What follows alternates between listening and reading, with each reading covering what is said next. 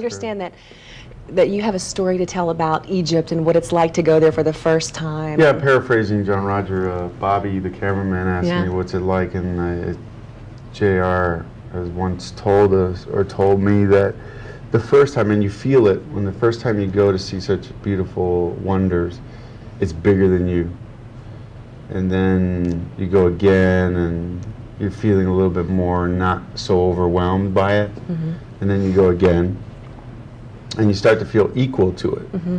And then by the ne- the next time you go, you're bigger than it. Mm. And when I went, not in an ego, I'm not making an ego statement. It's just is because we're all bigger than it. Mm-hmm. So when you get there uh, and you've done it enough, you go, I'm bigger than this thing. I'm going to climb it. As a matter of fact, I'll climb it eight times.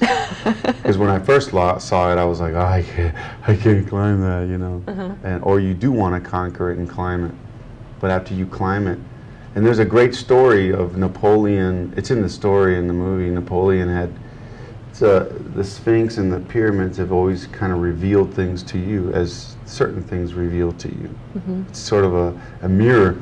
And Napoleon had, you know, he had tried to conquer that area, and he had. That's why the obelisk is in the Place de Concorde in, in Paris. But he went over there and he saw it, and he was revealed inwardly. The story goes that he's going to lose everything. Hmm. So mm-hmm. it's devastating. Can you imagine? Yeah. You get over there, and then some some metaphysical thing Yeah. tells you it's over. And of Yeah. course, he lost that battle. He lost a huge battle Mm-hmm. uh, in that uh, Egyptian area and fled. His naval, his, uh, his ships fled back to France. Yeah. But I think that's what um, these monuments kind of tell you is something reflects. So it's you Mm-hmm. reflecting and putting it on this thing, and the, it's like when you look at the Mona Lisa. I'm not Right. interested in the Mona Lisa, but Yeah. other people in the Louvre are like, the Louvre are like, wow, what a phenomenal piece of work. I'm like, it's a painting, but I think it's what people put in it, Right, And they mhm. get back Yeah, they project their, project their own things inner onto stuff I'm like, on it's a little tiny painting of a woman, maybe a man. You're busy projecting your stuff on the pyramids, right? And Correct. bigger things. You got bigger things. So, but anyway, I just want to say that I think you're huge, and I'm one of your biggest fans. And so I just wanted to surprise you. I write a little spiritual entertainment column in the Beverly Hills Times. I heard. And so I wrote an article about um, the spiritual community with spiritual cinema, and I put you in there because you know, I met you at your premiere, and um, then I met you again at another premiere, and um, and then I found out that you're involved not only um, in spiritual cinema but also in your own life. You're involved um, in a spiritual practice called MSIA, and I Yeah. think it's getting really popular here in Los Angeles. And what is that? The movement of spiritual inner awareness, which is Yeah. what it's what it is, and John-Roger founded it, and he's my teacher, and uh, over at least forty some odd years or thirty years, he's been people just flock to him and want to want to learn. Right. So the church was uh, created not as a dogmatic thing; it's a non-denominational, non-ecumenical, and it's really a study of great courses. At, We have also USM down here at Mm-hmm. I actually got my master's degree Oh, there. you did? Yeah. Oh, wow. And I plan on getting my PsyD there too. Yeah, so JR is the chancellor, and, the, and he founded USM. Yeah. So it's all an insight, and all these little branches. John-Roger's, our daddy. Yeah, he's, he's my He's like, daddy. Hey, daddy. and he's really touched a lot of people. I mean, everybody. has. I could go around the world and someone did something or took a class or a course. Right. So yeah, I googled him, and he was like the founder and CEO of like 12 different organizations for spirituality. and John-roger.org. Like, wow, how does he do it all? He's just. You know what happens is he inspires people. That's what it is. I mean, he someone goes to him. They ask. He asks them about. He asks JR about their life or she, and he speaks the truth, and they're inspired, and they go off and do something like a Mm-hmm. Movie or Right. or a corporation, and then Yeah.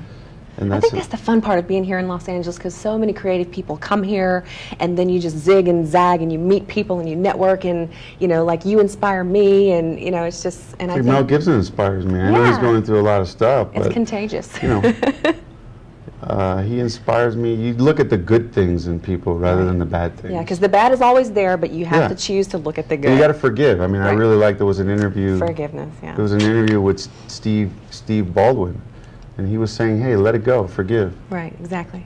All right, well, I, we have run out of time. It's been a very riveting interview, and I just want to thank you, Jsu Garcia, you, for being you. on my show. Mwah! All right, I got a kiss. All right.